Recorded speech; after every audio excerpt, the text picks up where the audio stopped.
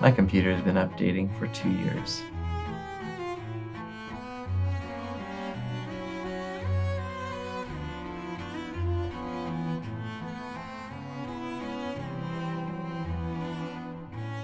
Oh, free concert tickets.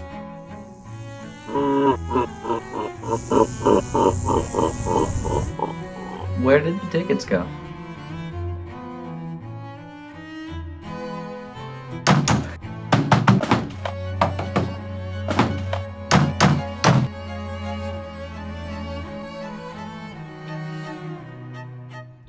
What happened to Corey?